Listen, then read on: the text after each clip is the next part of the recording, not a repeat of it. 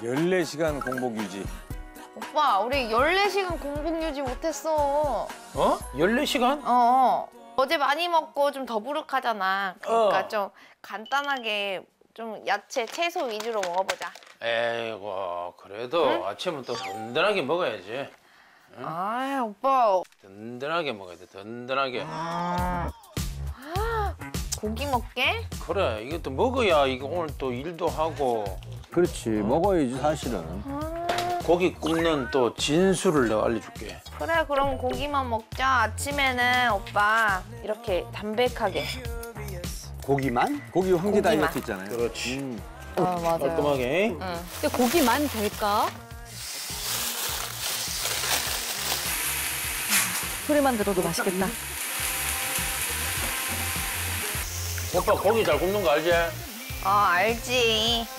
약간 육수가 조금 올라올 때 바로 뒤집어야 돼. 오빠 벌써 먹으면서 얘기하는 것 같다?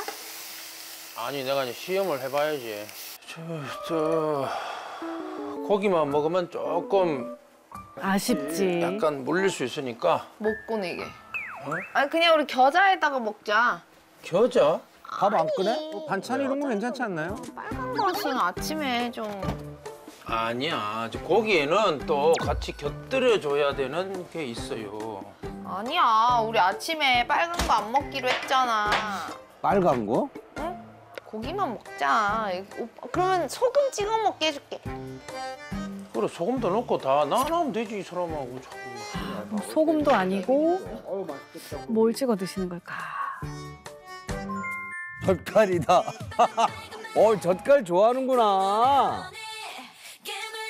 아, 이 멸치가 내 좋아하는 것도 어떻게 알고?